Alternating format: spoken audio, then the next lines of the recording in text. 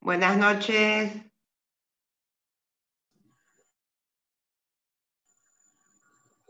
Buenas noches, Ana. Hola. No podía entrar, recién. eh, ¿Qué pasó? Hola, doctor. Hola, doctora. Eso que te contaba, que puse en el grupo, que no, que se abrió y se cerró.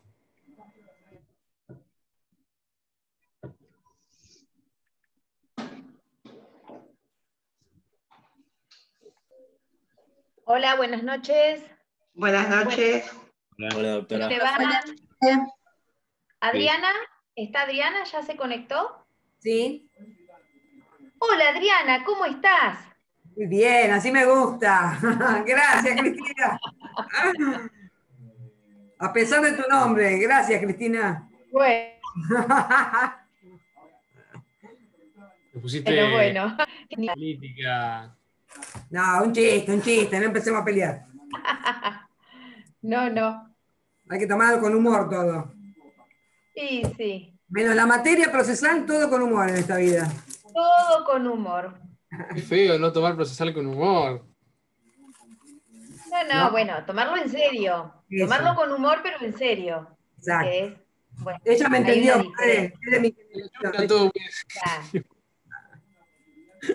Cristina, sos más cono- eh, Adriana es más conocida que la ruda. Muchos años de pasillos, por eso. Pasillando por tribunales Eh, muchos años. Saben que creo que ayer, no les voy a decir hoy que prendan las cámaras, hagan lo que quieran, si las quieren prender las prenden, si las quieren dejar apagadas las dejan apagadas.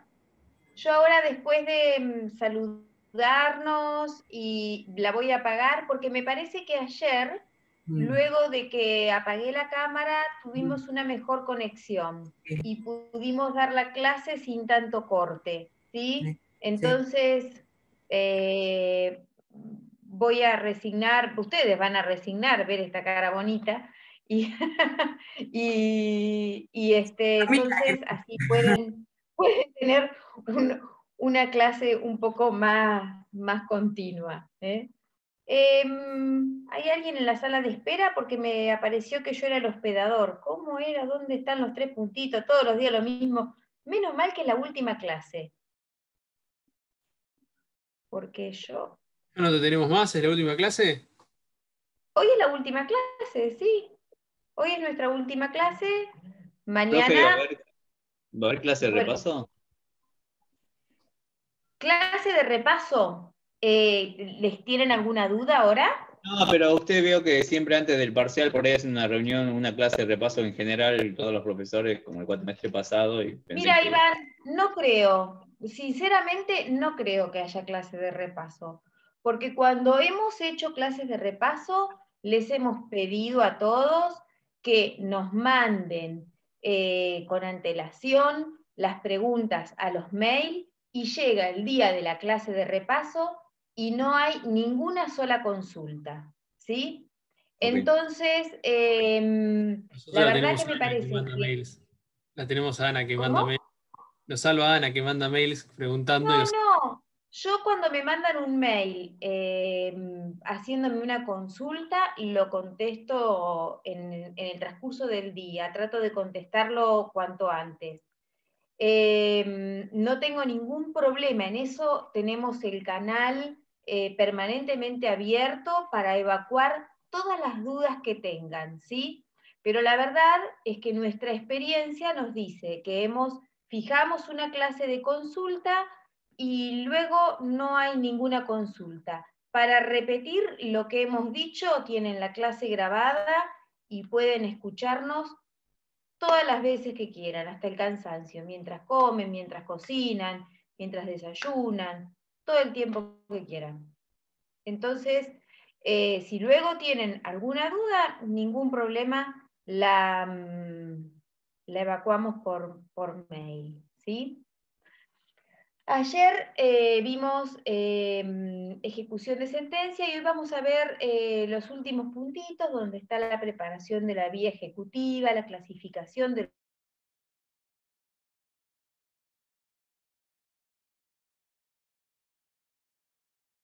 Ya te cortaste, Ana. Eh. ¿Cómo? Ya se cortó otra vez. Cris, Ah, una pregunta. Donde tenés el wifi, sí. ¿las luces están apuntando para el lado de la computadora? Porque es una de las cosas que vino el técnico y me hizo a mí acá en, eh, en casa. Ah, no, no lo sé. Yo estoy arriba y el wifi está en la escalera. No, no, no, no, no sé. No. Bueno, no, no importa. Em, vamos a, gracias. Igual vamos a, voy a apagar la cámara, así arrancamos con la clase de hoy. Yo estoy tratando de encontrar, acá era sección de grupos, no, reacciones. ¿Dónde era lo de la sala de espera? Che, ¿por qué no me acuerdo? No. Abril, ¿andás por ahí? Ay, sí, Abril, que es mi asistente. Siempre me salva, Abril. Bueno, no obstante eso, no veo a nadie en la sala de espera, no, no me aparece como me aparecía. Capaz ya está abierta, no sé, pero. Capaz que, capaz que ya la dejaron abierta, sabiendo de mis limitaciones este, para hacer pasar a la gente al, al conversatorio. ¿sí? Así que, bueno, nos vemos en un ratito, nos escuchamos ahora. Ahí está. Eh, bueno, estábamos, vamos a ver entonces el juicio ejecutivo. Recuerden que ayer lo que vimos fue ejecución de sentencia, la, lo que la, el código llama ejecutoria, la ejecutoria, ¿no? Que es el título ejecutorio, los títulos judiciales, sentencias, laudos, regulaciones de honorarios, acuerdos eh, transaccionales o conciliatorios homologados, aplicable a todas esas, eh, eh, esas, esas resoluciones. Eh, y vimos todo el procedimiento, no voy a detenerme porque si no, no avanzamos. El juicio ejecutivo es un proceso especial cuyo objeto va a consistir en una pretensión que tiende a ser efectivo o efectiva el cumplimiento de una obligación, de una obligación que está documentada en un título extrajudicial que la ley lo presume auténtico. ¿Sí? Ese sería más o menos un concepto de juicio ejecutivo. Hola. Eh, ¿Quién me habló? ¿Abril? No. ¿Me escucha ahí? Sí, perfecto. Sí, soy Abril, sí, estoy deshabilitándole la sala de espera, por eso había tratado en conectarme. Pero no sea problema que Ah, ya, bien, ya se las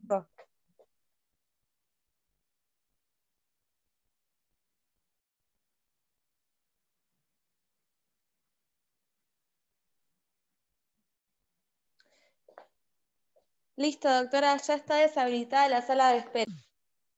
Muchas gracias, Abril, siempre tan amable. Muchas gracias. No, no, no, nada. Bueno, entonces, eh, ese sería, digamos, un, un concepto eh, sencillo de eh, lo que es el juicio ejecutivo. Entonces vamos a tener un título ejecutivo, que ahora vamos a ver eh, cuáles son, ¿no? El código los enumera en una enum- enumeración que no es taxativa, que es enunciativa, nada más que va a ser eh, adjuntado a una demanda ejecutiva. Y lo primero que va a hacer el juez, el primer despacho del juez, va a ser librar un mandamiento, un mandamiento de intimación de pago y embargo, y citación a oponer excepciones.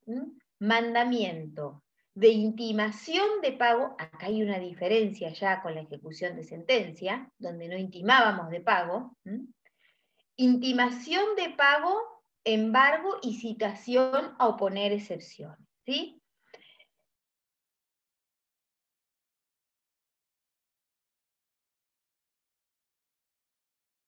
Otra diferencia importante con la ejecución de sentencia. Nosotros dijimos que en la ejecución de sentencia el embargo es una condición sine qua non. ¿Por qué? Porque em, necesitamos eh, subastar un bien, necesitamos tener un bien para rematar y de ahí cobrar. ¿sí? En el juicio ejecutivo, lo habitual, lo normal, lo esperable es que uno trabe un embargo ejecutivo sobre algún bien de propiedad del deudor, ¿sí?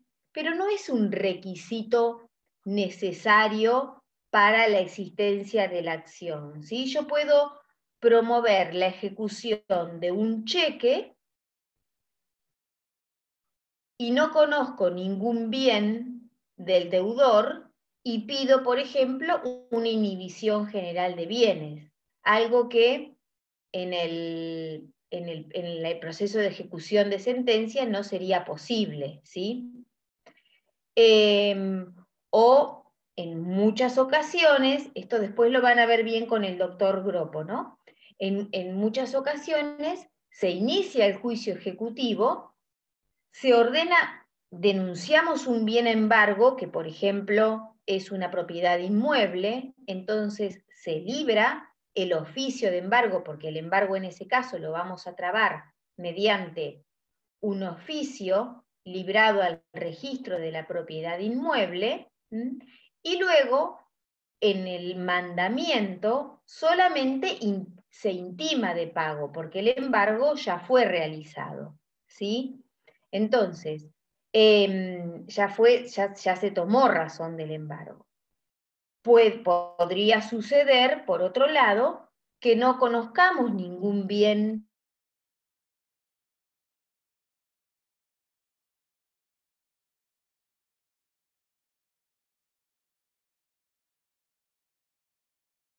Se te cortó de nuevo, Cristina.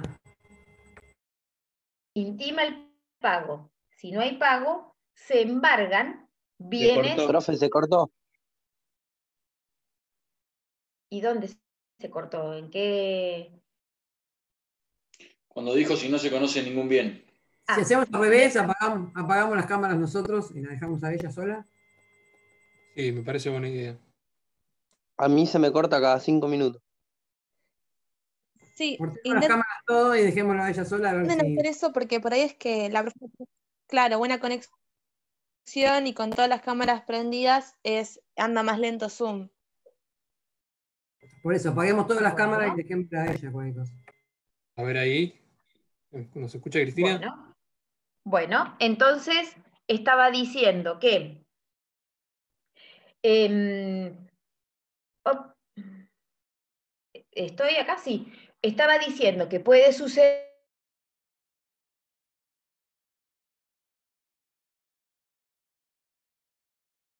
entonces directamente... Se cortó, profe. Profe, se cortó. Eh, a ver un segundo, ¿eh? Deme un segundo, por favor. Está complicado el asunto, chicos. ¿Cómo pongo la cámara eh, no, no, dejala, prendida porque si no queda todo un fondo blanco. Que una sola quede prendida. Dejala si querés, Josana, no pasa nada. Pues no tengo ni idea. Déjalo decir. Eh, Juan, si pones que. Al lado del micrófono está la camarita, Ana. Como activás y desactivás el micrófono, activás la camarita que está al lado. Tengo, lo único que tengo de silenciar, de tener video o silenciar. Claro, de tener video sería para la cámara. El video tiene cámara en este caso. Yo creo que es el internet de la doctora, me parece. Eh. Bueno, ahí le pedí a toda mi familia que se desconecte. Ay, pobrecitos. Nos van a odiar. No, tampoco para nada. Lo que pasa es que tengo, yo, tengo, yo tengo hijas que, que también están en la universidad y, y bueno, entonces a, a, esta hora ya no están en clase, pero bueno, siempre están conectadas con algo. Em, bueno, entonces estaba diciendo, por última vez, ya lo intento, que este, si uno no conoce bienes, podría ser que el ejecutante no conozca bienes del deudor, ni muebles ni, ni inmuebles registrables. Entonces, ¿qué pasa? Se hace el mandamiento, se libra el mandamiento de intimación, embargo y citación a poner excepciones, va el oficial de justicia a la casa del deudor, toca el timbre, lo atienden, lo in- intima de pago. No hay pago, no le pagan, entonces procede a embargar bienes muebles del deudor, ¿sí? Y lo cita, ahí mismo, en esa misma oportunidad, lo cita a oponer excepciones, ¿sí? Entonces, en el juicio ejecutivo pueden darse todos estos supuestos.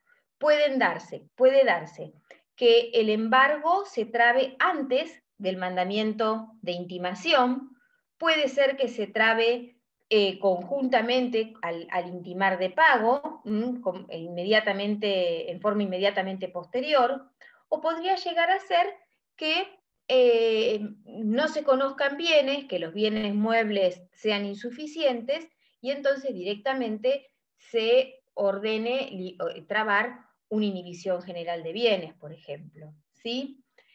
Esta también es una diferencia bien, bien, eh, eh, digamos, nítida respecto de la ejecución de sentencias. En el juicio ejecutivo, luego de la citación a oponer excepciones, el deudor puede oponer excepciones, eso lo van a ver después.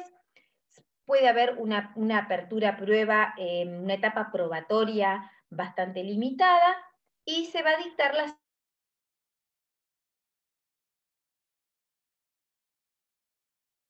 Se cortó, profe. ordena el re- Se cortó. Bien, entonces decía que em, se, va a- se van a oponer excepciones, ¿sí? Em, puede oponer excepciones el deudor, el deudor puede oponer excepciones, tiene el plazo de cinco días, eventualmente va a haber una etapa probatoria muy limitada y luego el juez va a dictar sentencia de trance y remate, la cual, pese a su nombre, no ordena el remate de nada, de nada sino que em, lo que establece es que se siga adelante con la ejecución. Una vez que esta sentencia de trance y remate está firme, em, comienza la ejecución forzada de los bienes con la subasta y la etapa de ejecución propiamente dicha. Y acá se asimila a la ejecución de sentencia, porque habíamos visto cuando vimos ejecución de sentencia que luego de que está consentida o ejecutoriada la sentencia que manda llevar adelante la ejecución, se iba a seguir como en el juicio ejecutivo. ¿Sí? Bien, esto luego que yo les dije así, tan, tan, tan, tan, tan resumido, lo van a ver con detalle a partir de mañana, ¿sí? Cada uno de los puntos. Em, lo que tenemos que tener bien en claro entonces es la diferencia entre los títulos ejecutorios y ejecutivos. Los títulos ejecutorios van a ser aquellos emanados del Poder Judicial, ¿sí? La sentencia, una sentencia de condena, un laudo arbitral, o los que indica el artículo 498, los acuerdos transaccionales, las transacciones, eh, las mm, multas eh, procesales que hayan sido impuestas, las regulaciones de honorarios, una mediación, un acuerdo de mediación homologado que no se cumple, ¿sí? Todos estos son los títulos ejecutorios. Por otro lado, tenemos los títulos ejecutivos, que acá vamos a ver los que nos indica el artículo, el código eh, procesal, en los artículos 421, 422, ¿sí? Estos son los títulos ejecutivos. Ahí tenemos la factura conformada, las letras de cambio, el cheque, el pagaré, el instrumento público, el privado reconocido, el crédito por alquileres, ¿sí? por expensas comunes, todos esos que ahora los vamos a ver. ¿Cuál es la diferencia? Habíamos dicho, el título ejecutorio emana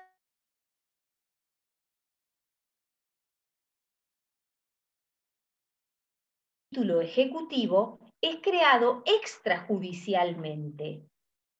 Extrajudicialmente. ¿Puedes repetir que se me cortó? Un cheque, un pagaré, el saldo deudor de la cuenta bancaria.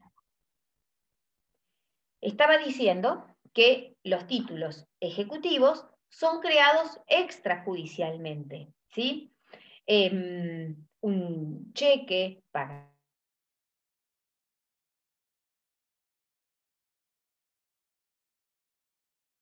certificado de deuda cortando, expensas. Profe, se cortó. Em, Y cada vez es más, más seguido. No, no sé qué decirles, chicos. No, no, no, ya no puedo hacer más nada yo. Em, si quieren, yo No. hago un videíto y lo subo, no sé. La verdad que Y me parece va a ser más práctico, doctora, que Sí. a mí se me complica mucho que entender con... Como se me corta cada dos segundos, no se puede seguir el hilo de la, de la explicación. aguárdenme un segundito, aguárdenme un segundito que voy a intentar cambiar de lugar, ¿sí? Espérenme un segundo, por favor. Nadie se desconecte por ahora. Va a tener que resetear, Cristina, el, el modem. ¿Cómo? Va a tener que resetear el modem para que vuelva a lle- a llegarle otra IPP para que pueda limpiar lo que es el modem, la memoria. O probar con el celular. Sí, porque si no, como está muy, tiene datos podría cargados y no apaga mucho el modem, entonces no le da, eh, siempre le manda la información a la misma IPP. Por eso hay que resetearlo.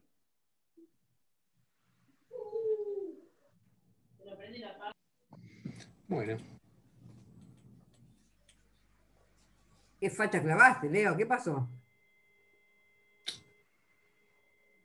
¿Qué fue cuando te casaste? Espérenme un segundito, No. que me voy a cambiar de lugar. Un segundo. No me casé, nunca. Eso es un congreso en Rosario, la, la foto. Ah, mirá qué bueno. ¿De qué? Esa fue sobre eh, de- defensa de derechos humanos y guarda constitucional en la actividad de, de discapacidad. Ah, mirá qué interesante. interesante.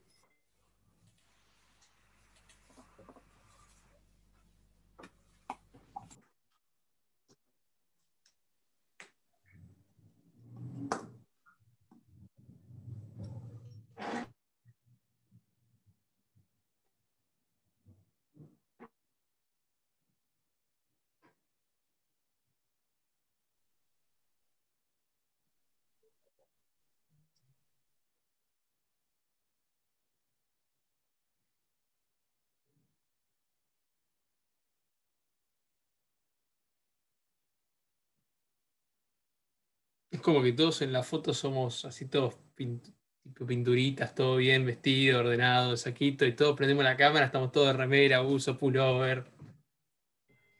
Yo me tengo que hacer una foto. Fíjate que no tengo foto, Juan. Después de que salga del quirófano, cuando salgo del quirófano me saco la foto.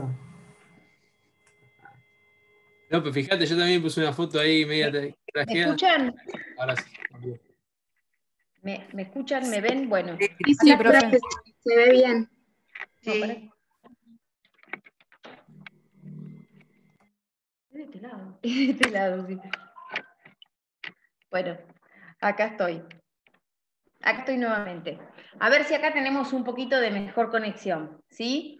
Em, igual voy a apagar la cámara por las dudas, así podemos tratar de tener un- un- una conexión más, más fluida. Bien. Bueno, entonces, estaba diciendo que em, los títulos eje- ejecutorios, voy a arrancar de nuevo con desde donde quedé como para tener un, un hilo conductor. Profe, Estaba diciendo que los títulos- que la interrumpa un segundito. Que usted dijo artículo 421 recién, pero lo busqué y... 521, perdón, me 521 puede equivoqué. ser. Ay, sí, gracias. 521, sí, sí, no, 421 estamos, no sé, en prueba testimonial o por ahí. No, no, 521, perdón. Entonces, tenemos la, la- la diferencia, la clasificación en títulos ejecutorios y ejecutivos, ¿sí? Donde los ejecutorios son aquellos emanados del Poder Judicial, ¿sí? De una, eh, eh, de- una autoridad judicial. Vamos a tener la sen- Eh, y aquellos que numera el 498. Profe, se cortó de vuelta. Eh, bueno, arrancó. Esto igual ya lo había hablado, ¿sí? Esto era para retomar nada más. El artículo 498, donde tenemos los acuerdos transaccionales, las multas, los, eh, las regulaciones de honorarios y eh, los convenios de mediación. Y por otro lado, vamos a tener los títulos ejecutivos, ¿sí? Los títulos ejecutivos, que son aquellos que están previstos eh, de modo enunciativo nada más, porque hay otros en, leyes, en otras leyes especiales, en el artículo 521, 522 del Código Procesal. Estos, los títulos ejecutivos, a diferencia de los ejecutorios, son creados extrajudicialmente. ¿sí? Es la ley la que les otorga una presunción de certeza y autenticidad. ¿sí? ¿Para qué? Para facilitar el, el tráfico eh, eh, comercial y jurídico, ¿sí? Para que sea más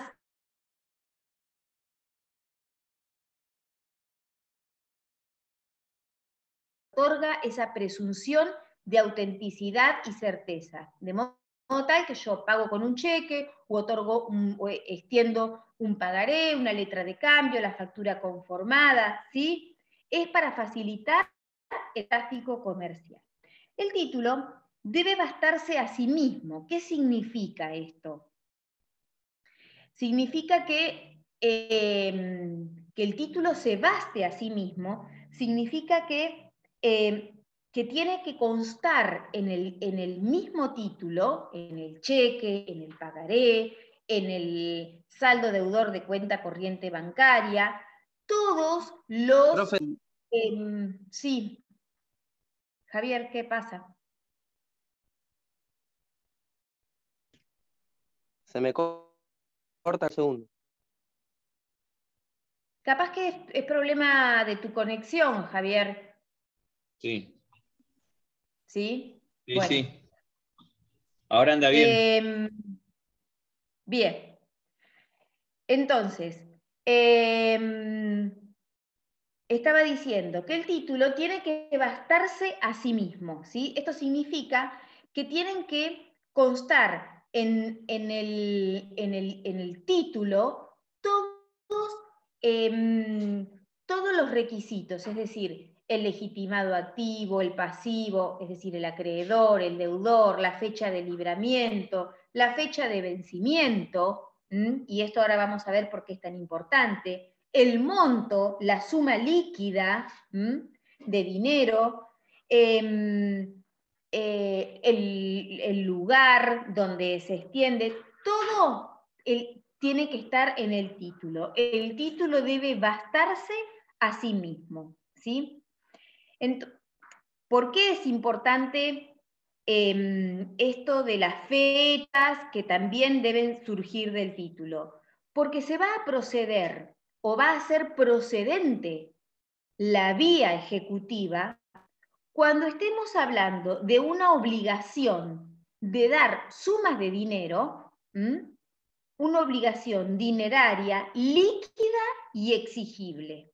Líquida o fácilmente liquidable, que ustedes saben que en ese caso es cuando se puede tener, digamos, el monto a través de una simple operación aritmética, y exigible. Exigible significa que tiene que estar de plazo vencido y no sujeta a ninguna condición. ¿sí? Entonces es exigible. Todo eso tiene que surgir del mismo título. Esto es lo que significa que el título se debe bastar a sí mismo. Eh, entonces, importante, va a proceder la vía ejecutiva cuando se trate de una suma de dinero exigible, líquida o fácilmente liquidable. El, el código van a ver que hay un artículo que este, es el 519, es un artículo que tiene nula prácticamente aplicación, pero yo igual se los comento porque está en el programa, que es la opción por el proceso de conocimiento. Es decir, la posibilidad que se le da al acreedor ejecutante de renunciar a la vía ejecutiva y de em, eh, optar por reclamar el cobro de esta suma de dinero a través de un proceso de conocimiento. ¿sí? Es una cuestión que no sucede jamás porque no va a renunciar a una vía rápida eh, mm, para transitar un, proceso eh, sumario.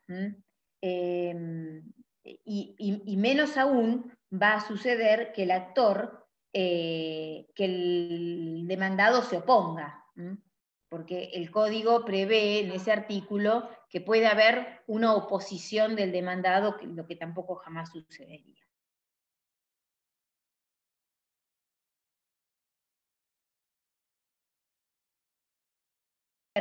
Cuando hablamos de la diferencia entre los procesos de conocimiento y los ejecutivos, y dijimos que una de las diferencias era que en los procesos de conocimiento había un conocimiento amplio porque se debatían todas las cuestiones, en cambio, en los procesos ejecutivos no se puede discutir la causa de la obligación, ¿sí? simplemente vamos a, poder discutir eh, si el título es válido o no, nada más, pero no la causa de la obligación.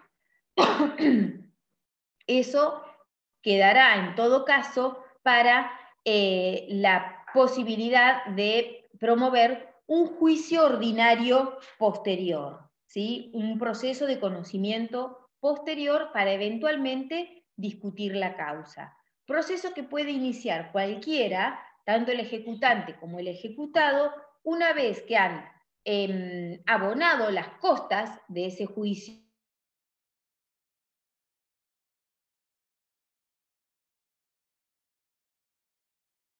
pudieron ser debatidas en el juicio ejecutivo, no van a poder ser discutidas con posterioridad. ¿Mm?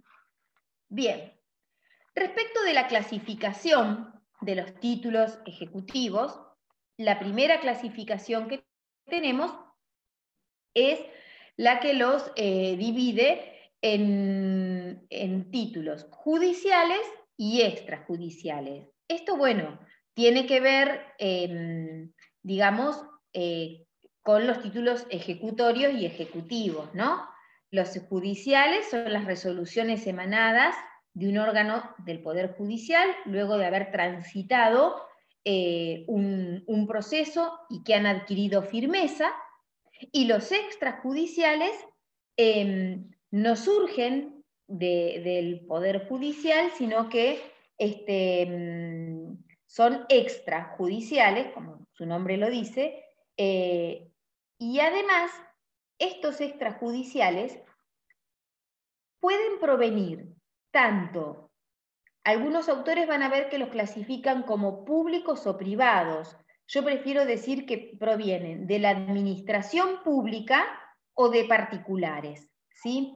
¿Cuáles serían esos títulos extrajudiciales provenientes de la administración pública?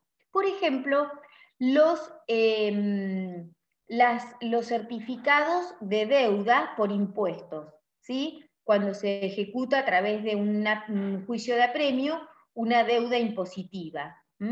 Eh, una tasa municipal, em,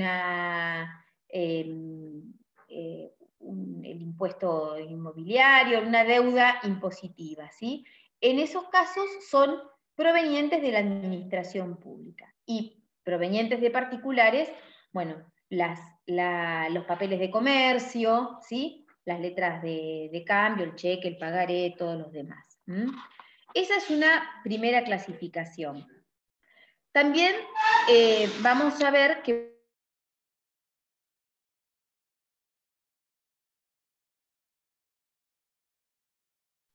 para ser considerados título ejecutivo.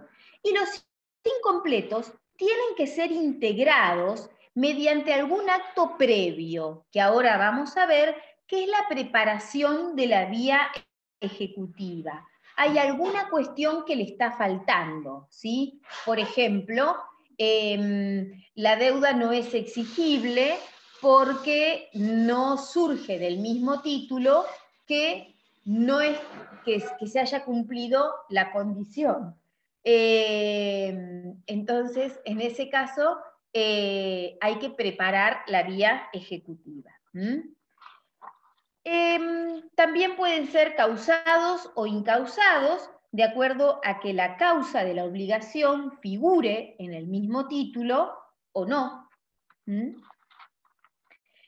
Eh, bueno, y yo como siempre sostengo, las clasificaciones son totalmente arbitrarias, ¿no? Porque yo podría, eh, siempre las clasificaciones uno los puede clasificar de la forma que se les ocurra. Eh, pero estas son las más, de las clasificaciones las más comunes. Cristina, perdón, profe. ¿Podrías repetir, me parece que dijiste completo o incompleto? Sí, dije completo. causados? Esa la causados, causados e incausados. En los causados son aquellos donde la causa de la obligación figura en el mismo título. Y los incausados donde no figura la causa de la obligación. Por ejemplo, un cheque. Un cheque no figura la causa de la obligación. Yo no sé si eh, eh, cuando libré el cheque, compré, pagué mercaderías, pagué mm, eh, lo que haya pagado, ¿sí? No figura la causa de la obligación. En cambio, por ejemplo, ¿cómo? No, gracias por la explicación que no había escuchado. En cambio, los, los causados, que puede ser, supónganse, un instrumento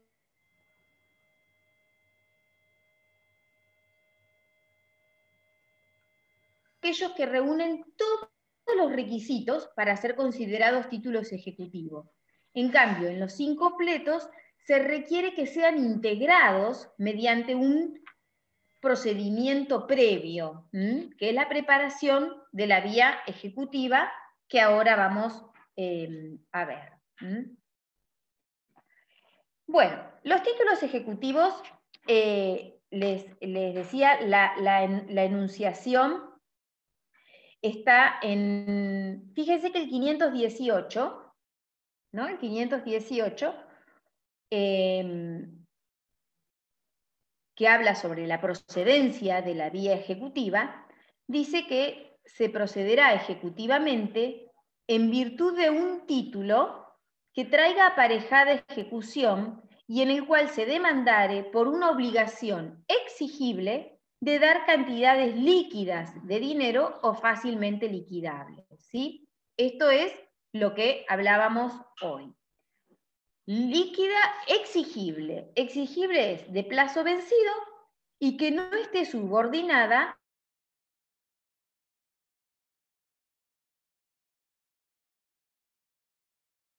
el cumplimiento de la misma tiene que surgir o del mismo título o de otro instrumento público o privado eh, eh, reconocido o por la mm, diligencia eh, porque se preparó la vía ejecutiva conforme el 523 y surge que se, em, que se, que, se cumplió con la condición. Los títulos ejecutivos que nos indica, que nos enumera el Código Procesal Civil y Comercial, es una enumeración enunciativa, nada más, no es taxativa, puede haber otros. Em, está en el 521 el instrumento público eh, presentado en forma, el instrumento privado suscripto por el obligado, ya sea, que haya sido reconocido o con firma certificada. Eso tampoco eh, genera demasiada complicación. eh, la confesión de deuda líquida y exigible presentada ante el juez de la ejecución, la cuenta corriente mercantil, la letra de cambio, la factura conformada, el pagaré, estos son todos los papeles de comercio, ¿no? El crédito por alquileres, eh, y dice en el inciso 7, fíjense, que los demás títulos que estuvieran fuerza ejecutiva por ley y no estén sujetos a un procedimiento especial, como podrían ser em, el saldo deudor de cuenta corriente bancaria, el saldo deudor de tarjetas de crédito, son otros títulos eh, ejecutivos. El 522 nos habla del crédito por expensas comunes, es decir, eh, por los gastos de un edificio de propiedad horizontal, que esté sometido al régimen de propiedad horizontal. En ese caso, el título ejecutivo va a ser el certificado de deuda expedido por el administrador de acuerdo a las previsiones que indique el propio reglamento de copropiedad, que ustedes saben que es la ley eh, primera, digamos, las, las bases para ese consorcio. ¿Sí? Vamos a hablar un poquito de la preparación de la vía ejecutiva, porque hace un ratito dijimos que había títulos que em, no están completos y que hay que hacer una serie de pasos anteriores, de pasos previos, para em, que el título pueda ser ejecutado. El 523 dice que puede prepararse la vía ejecutiva em, pidiendo previamente, si es un documento que no trae por sí solo aparejada ejecución, que sea reconocido, o sea, un instrumento privado, que sea reconocido por, eh, por el deudor. Entonces, lo citamos a reconocer eh, la firma, ¿sí? que el 524 nos dice la forma en que tiene que ser citado. Y la forma es la misma como que fuera citado a, mm, contestar la demanda. Deben cumplirse con la formalidad del artículo 338 y 339. ¿sí? Eso es muy importante. La citación al demandado para el reconocimiento de firma tiene que hacerse con la, em, en la forma prescripta por el artículo 338. Cuando se lo cita a su domicilio real, se va con un apercibimiento esta citación, de que si no comparece o no contestare categóricamente, se lo tendrá por reconocido al documento o por confesados los hechos. Por ejemplo, se va a tener por cumplida la, em, la condición. Em, el citado tiene que comparecer personalmente. Esto también es muy importante. No puede ser suplido mediante la presentación de un escrito, reconociendo o desconociendo. Tiene que ser en forma personal. Em, si, el, si cuando el deudor concurre, eh, reconoce su firma, queda preparada la vía ejecutiva. ¿sí? La vía ejecutiva queda preparada y se sigue adelante con la ejecución conforme indica el artículo 529. Entonces, si reconoce la firma, queda preparada la vía ejecutiva y se sigue adelante conforme indica el artículo 529. ¿Qué pasa si desconoce la firma? Eh? En ese caso, em, se va a hacer una pericia caligráfica, ¿sí? Para comprobar la autenticidad de la firma que fue desconocida. Si si la firma, este, o sea, si de la pericia surge que la firma era auténtica, es decir, que eh, mintió al momento de desconocerla, en ese caso se le va a imponer una multa del 30% del monto de la deuda. Em, y esta, este, mm, este porcentaje, esta multa, si el deudor, luego el ejecutado, quisiera oponer excepciones, tiene que darlos a embargo esa suma. Eh, y si no, queda, digamos, como, parte del, capital. Em, bien, eso es el reconocimiento de, eh, de los documentos. En el caso de la ejecución de alquileres, es un supuesto especial el crédito por el alquiler de, un, bien inmueble, porque también hay que preparar la vía ejecutiva. ¿eh? Y la forma de prepararla es citando al inquilino, locatario, para que manifieste su condición de locatario y exhiba el último recibo. Em, ¿Qué pasa? Si niega en forma categórica ser inquilino y no se puede probar por, otra, por otro modo, porque, mm, por ejemplo, no, no, hay un contrato o es imposible probarlo de otro modo, en ese caso no va a proceder la vía ejecutiva.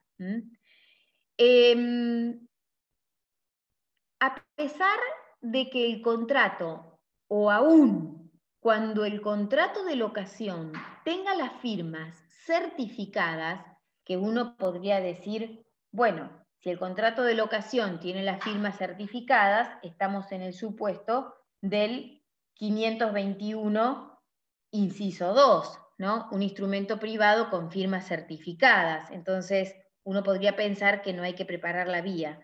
Pero no obstante ello, en el caso del crédito por eh, en la ejecución por alquileres, igual hay que preparar la vía y hay que citarlo al inquilino para que eh, exhiba el último recibo, ¿sí? aun cuando el contrato tenga las firmas certificadas. Otro título que, va a requerir em, este, preparación de la vía que sea completado, es cuando no tiene un plazo de vencimiento, eh, una fecha de vencimiento. Ustedes dijimos que la obligación tiene que ser exigible y para que sea exigible tiene que estar, tiene que ser de plazo vencido y no estar sujeta a condición. Pero hay obligaciones que pueden no tener un plazo. Y en ese caso, la preparación de la vía va a consistir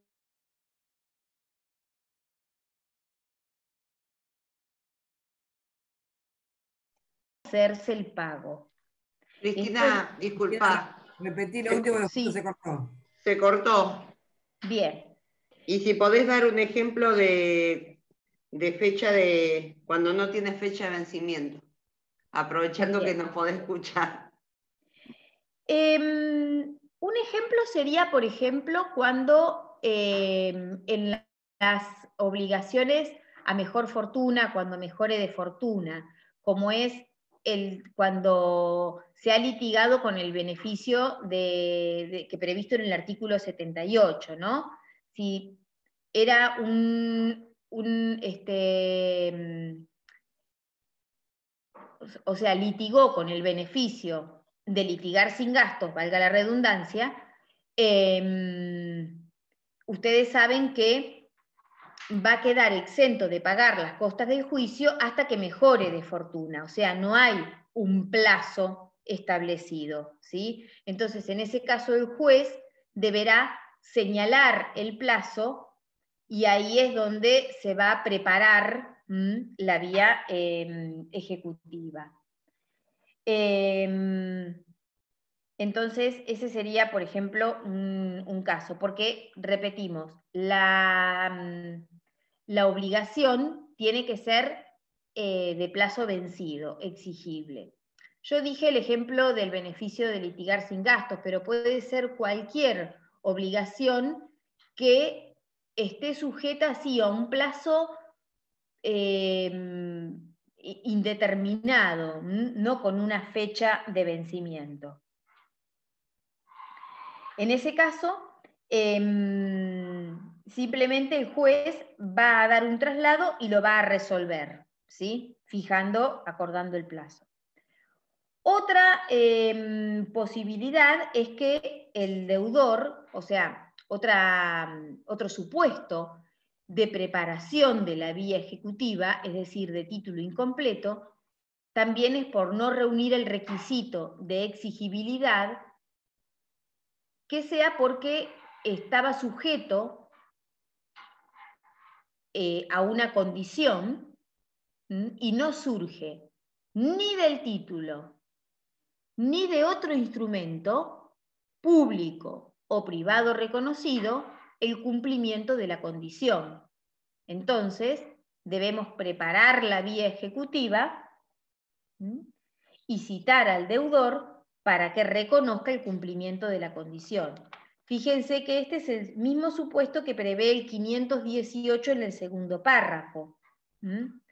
Puede ser que la obligación esté sujeta a una condición. En ese caso, el cumplimiento puede surgir del mismo título, puede surgir de otro título que lo completa, y si no hay otro título que lo completa, tenemos que completarlo a través de la preparación de la vía ejecutiva.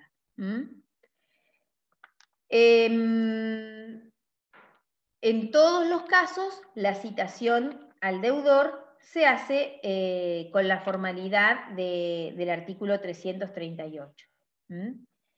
Em, estas medidas preparatorias de la vía ejecutiva tienen un plazo de caducidad, ¿sí? Al igual recuerdan que las medidas cautelares tienen un plazo de caducidad que es de 15 días, ¿sí? Em, de modo tal que yo, una vez eh, cumplida la medida, eh, la, medida preparatoria, tengo 15 días para deducir la demanda ejecutiva. Y si no, caduca. Lo que normalmente se hace para evitar este plazo de caducidad es, yo promuevo la ejecución, promuevo la ejecución y Em, en un puntito, en un eh, párrafo, eh, pongo un ítem especial que es preparación de la vía ejecutiva. Entonces digo que en forma previa, tratándose de un título incompleto, mm, solicito se prepare la vía ejecutiva citándose al deudor a reconocer, eh, no sé, su carácter de, locatario o lo que sea. ¿sí? De ese modo uno evita eh, que opere el, plazo de caducidad. Bueno, y si no hay que hacerlo dentro del plazo de 15 días. Cristina, disculpe, eh, ¿el 15 días a partir de cuándo? Allí me generó una duda. Los 15 días em, se cuentan, em, depende, depende, porque si el reconocimiento es expreso, porque el deudor se presentó y reconoció su firma, es a partir de ese, de ese día, del reconocimiento. ¿sí? Eh, si el reconocimiento es ficto, porque el deudor, el ejecutado, el deudor no se presenta a reconocer la firma, que puede suceder que no se presente, el juez va a dictar una providencia diciendo que se lo tiene por reconocido. Entonces va a ser desde que se notifica Ministerio Legis esa providencia. ¿Sí? Clarísimo, gracias. Bien. En todos los casos se la sanción del 30% si la firma después se comprueba la veracidad de la firma. Si el, si el sujeto que debe pagar, el citado, el deudor, no la reconoce. Si no la reconoce, sí, se le agrega el, 30%. Eh, eh, ¿Y qué, me decías? Digo que esa es una, alguna forma como para que reconozca el momento de presentarse presencialmente, de reconocer la firma y no no desconocerla para trazar el trámite de algún modo, ¿no? Exactamente, sí. Es una medida, es un artículo eh, de los que se le llaman moralizador. El código tiene muchos artículos que se le llama moralizador, es decir, es para evitar la mala fe, las conductas dilatorias del proceso. Ah, yo desconozco entre qué hacen la pericia, todo eso se nos van siete meses y gano tiempo. No vas a ganar nada porque va a perder el 30% más. Sí, es para eso, es para evitar esas maniobras dilatorias. Automáticamente, de ese monto, ¿cómo se agrega ese 30%? ¿El juez lo, agrega? Eh, mediante una resolución del juez, mediante una resolución del juez. Entonces, el juez, cuando luego ordena el mandamiento de intimación de pago y embargo, ya va a ir con ese porcentaje. Perfecto, gracias. ¿Se entiende? Sí. sí, todo se entendió. Perfecto. ¿Alguna otra duda? Sí, disculpe, doctora, a mí no me quedó muy en claro cómo hago para suspender el plazo de caducidad. Ah, no, pero eso es una, o sea, a ver, es una, estrategia procesal eh, de la práctica nada más. Al igual que en las medidas cautelares, es, lo mismo. Eh, porque las medidas cautelares, si yo las, eh, las mm, solicito antes de, promover la acción, también tienen un plazo de caducidad. Entonces, la, digamos, la forma, la, técnica, en la práctica, lo que se hace es, yo promuevo, em, promuevo el proceso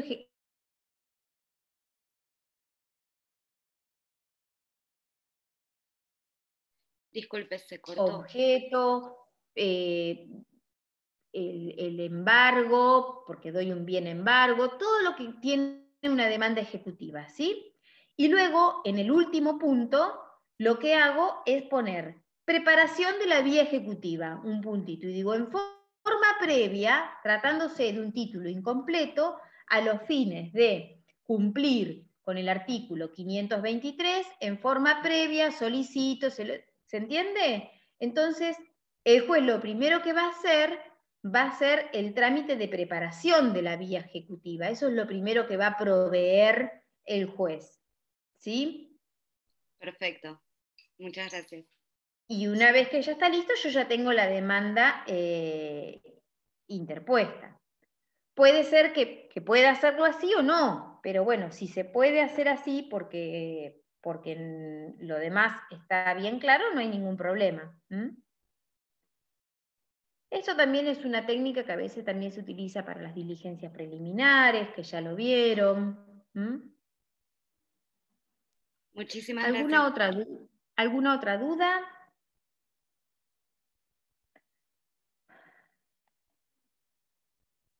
Parece que no. Mm. Todos con las cámaras apagadas. Puede aprender. Así acá estamos, acá estamos, pero queremos que no se corte.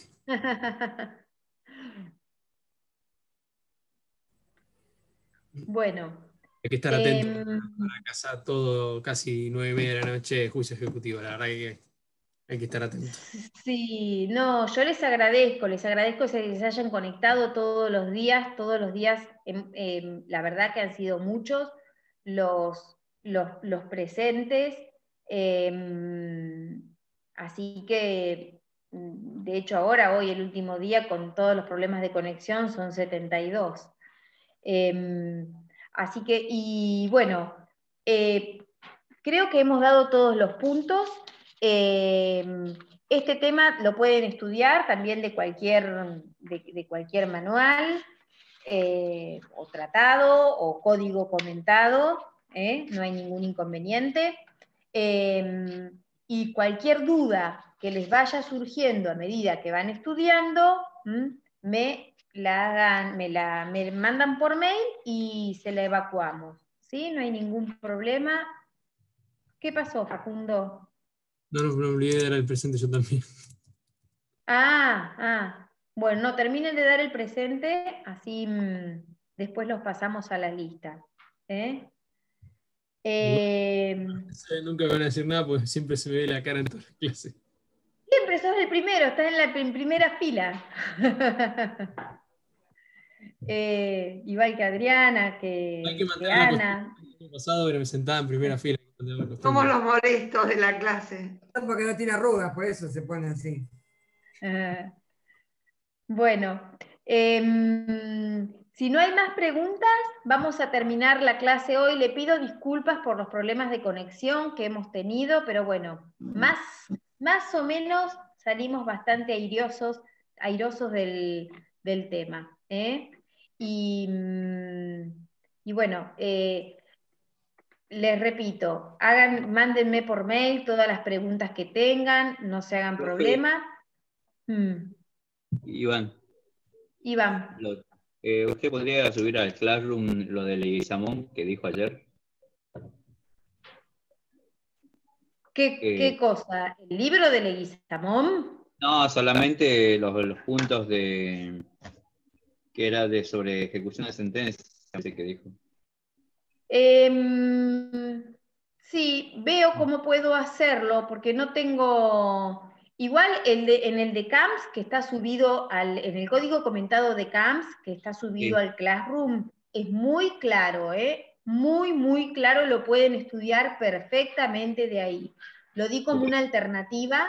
La verdad es que no, me, no estoy segura de poder mm, escanearlo, me voy a fijar. Si puedo escaneárselos, se los, le subo todo el capítulo ese, ¿sí? Doctora, ¿no quiere decirnos cuál es el título bien del libro y lo buscamos que probablemente esté en algún lugar? Sí, no sé si lo tendrá Suárez, no creo que lo tenga mm, ahí en la facultad, el, centro de impresiones. No, no, yo digo el yo del libro. Pero por ahí lo buscamos por internet. Ah, no creo que esté, ¿eh? porque es un libro bastante nuevo, no creo que esté. No perdemos nada. Bueno, bueno, bueno. A ver, eh, aguárdenme un segundito. Aguárdenme un segundo, porque me quedó en el otro, en el otro escritorio. Espérenme un segundito que ya vengo chicos, el de, de, CAMS y el de Y el último día la dejamos ir más tarde, ¿eh? más temprano. Pero a mí me resultó más fácil la clase que dio ella que CAMS. Eh, CAMS yo lo leí estos días y me parece un poco, a ver. Muy complicado está. Es muy corto y CAMS es muy largo, entonces es un punto medio, me parece. Eh, yo que tengo los dos y tengo uno más, el, el viejo. ¿Pero, cuál tenés? ¿El que está diciendo Iván? Yo tengo de procesal, tengo este, tengo el de Finoquieto. Tengo... Que lo digo es Héctor Leguizamón. El de Leguizamón. Bueno, ah, ese. Está muy El de Leguizamón es, eh, se llama Derecho Procesal Civil de Héctor Eduardo Leguizamón. Es de la editorial Rubin Salculzoni. Segunda edición ampliada y actualizada, está bastante actualizado, la verdad. Es del año 2017.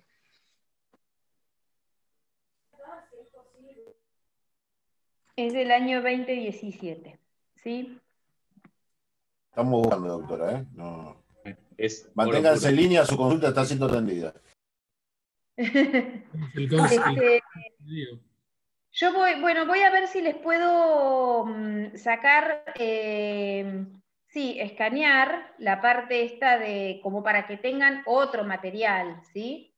Otro material de ejecución de sentencias. Bueno, y después se lo subo, ¿eh? Así no tienen excusa para no saber el tema. Así no decimos que se corta. Esto es lo que no se dan cuenta. Cuando más te piden, peor es. No, igual en, en, CAMS también está perfecto. Eh, Me quedo con la clase de ayer y no CAM, Cristina. Eh, CAM está bastante enroscadito eh, en lo que diste vos ayer. Ah, ¿No es posible que grabe, que grabe como esta clase y la suba? Porque estuvo muy cortado, muy difícil de, de seguir. No va a matarla, profe, pobre. Sí, perdón, por eso lo sugiero. ¿Qué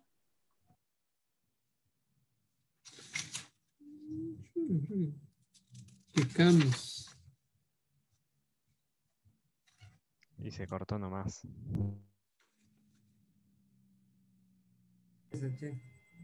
que después, cuando la vean tranquilos por ahí, van a poder sacar algo en claro. ¿eh? Y ¿Puede cuando- repetirlo de vuelta que se cortó? Perdón.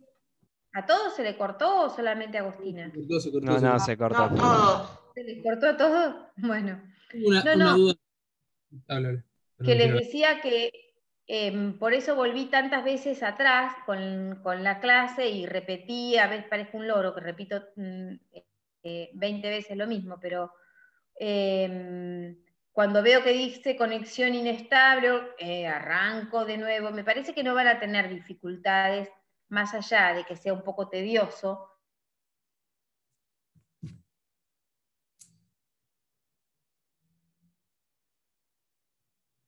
Se volvió a cortar, Cris. Está complicado el asunto, chicos. Hay que tener paciencia. Un vinito, como dice Leo. Ni para el saludo final va a quedar. Pobre Cris.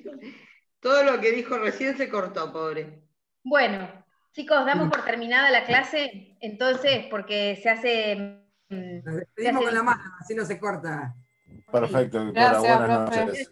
Muchas gracias. Gracias, profe. No, Buenas no nos noches. volvemos a ver antes, si no nos volvemos a ver antes, muchísimos éxitos para todos en el, en el parcial. ¿eh? Ojalá Gracias. que todos Gracias. puedan atravesar esa instancia. Gracias. Muchas gracias.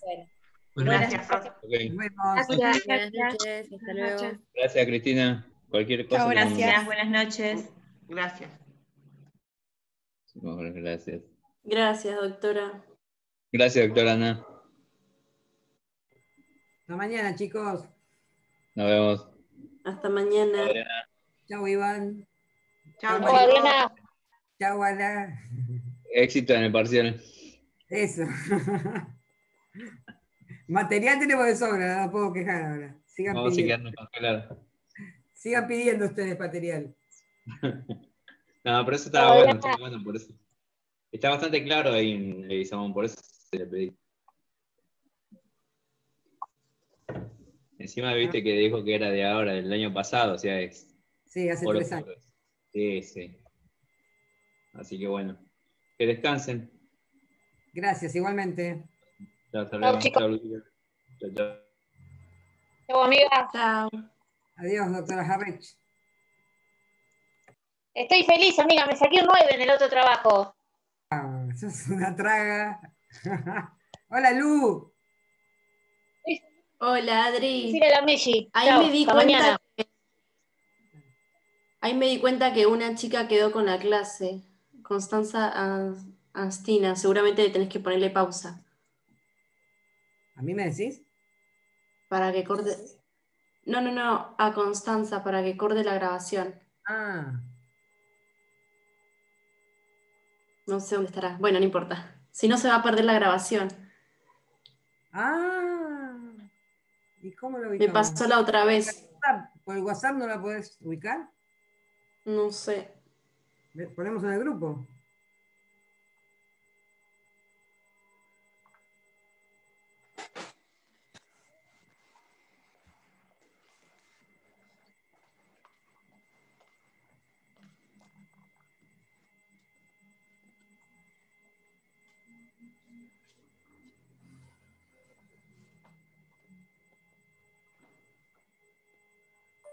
Hola, Constanza Antista. Acá dice Lucía Lucero que cortes la grabación porque no se cortó.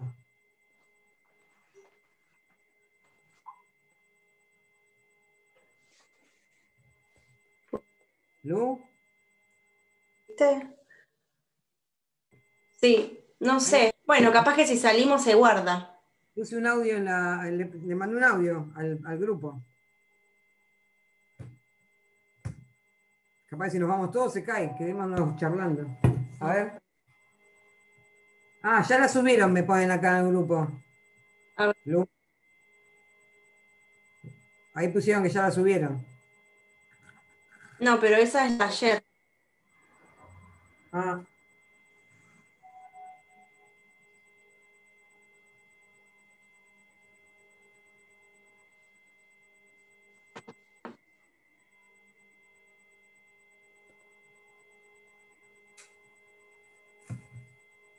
Quedémonos por la duda, hacer el aguante, a ver si todavía nos vamos todos y.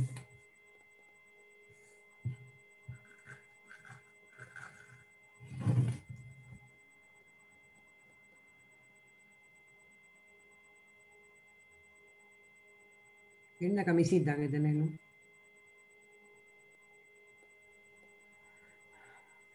Ay, ya sé, Benito. Es raro. Sí, no, creo que si salimos se guarda.